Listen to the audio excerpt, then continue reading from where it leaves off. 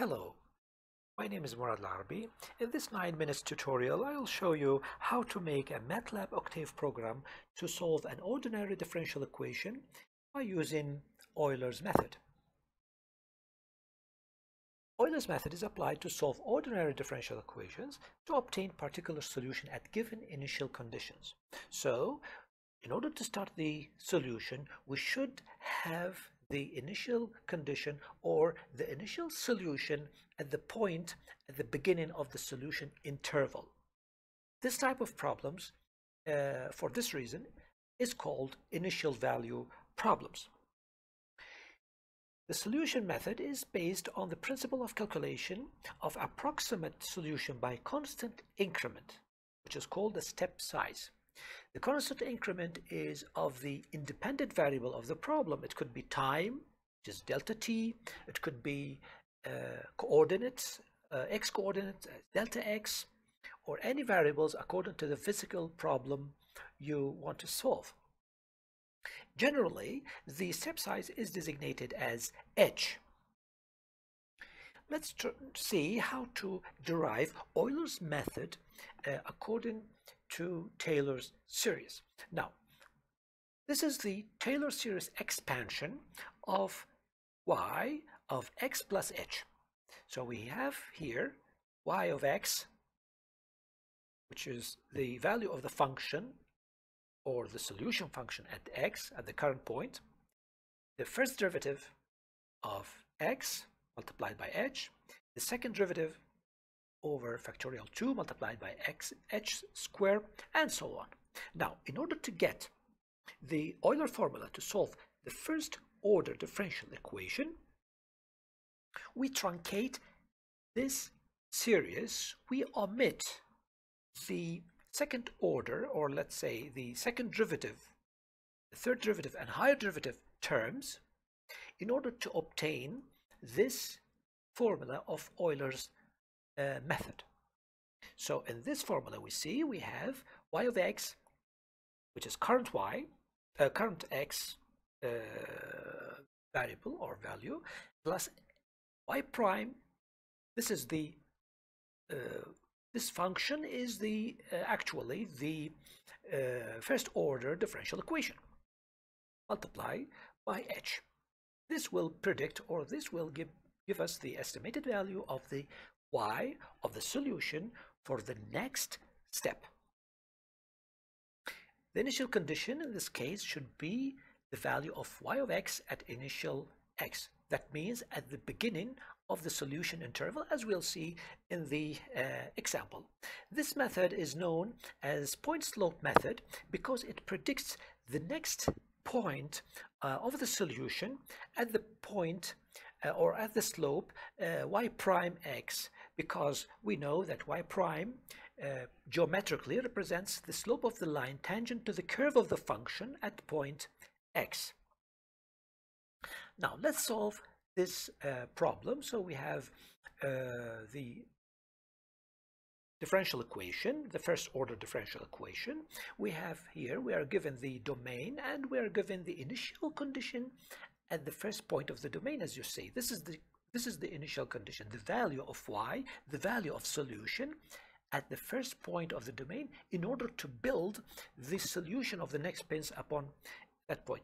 We are required to have the solution at the different values of step size 0 0.5, 0 0.1, 0 0.05 and 0.01 in order to see the improvement in solution according to the different value of uh, h in addition to compare with the results of the given uh, analytical solution y equals the uh, exponential uh, x to the power or x to the power 2 over uh, 2.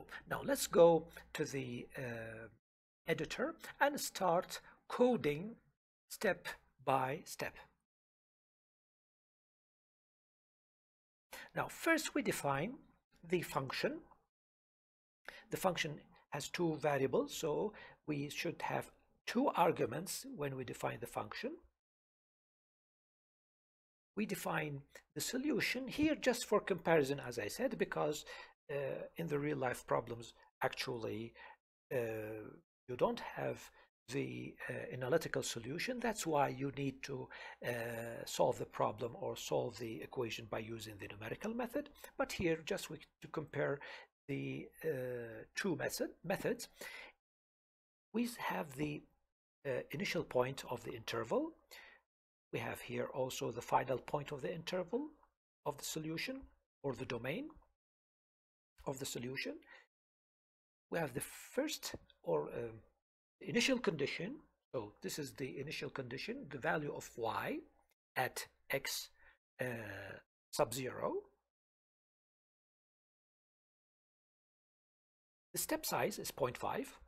So we define the step for size h. And since we are, have uh, a tabular representation of the solution, we define the header of the table. So we have here the x in the left column. We will have uh, the Euler solution in the middle and the analytical solution. We define the first row of the table because we have, if we know the, the, the uh, initial value of the domain or the initial uh, start point of the domain. We have the initial value of y and we can compute the initial uh, or the, uh, the value of the function of the solution function at the uh, start of the domain. Now we make our the loop. The loop starts normally at the first point in order to compute the next points. The step size is h and also we have the uh, increment or we will go through the solution up to the point x n minus h. Why? Because at every step we compute the solution at the next step. So actually when we approach the point xn minus h, we will compute the solution at xn. This is the uh, idea. So let's uh, now write the uh, uh, script inside the loop. Now we have, this is the Euler formula.